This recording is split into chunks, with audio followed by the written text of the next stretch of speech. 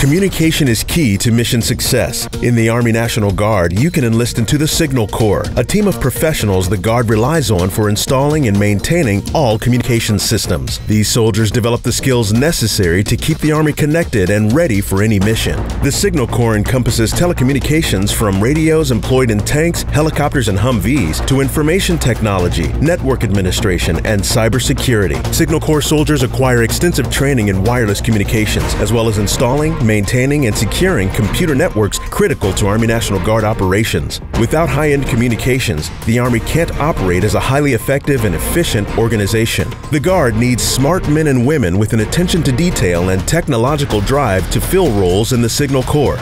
Signals, one of the many career fields available in the Army National Guard to augment your skills in science, technology, engineering, and math. Please visit NationalGuard.com to learn about these and the many other STEM professions the Guard has to offer.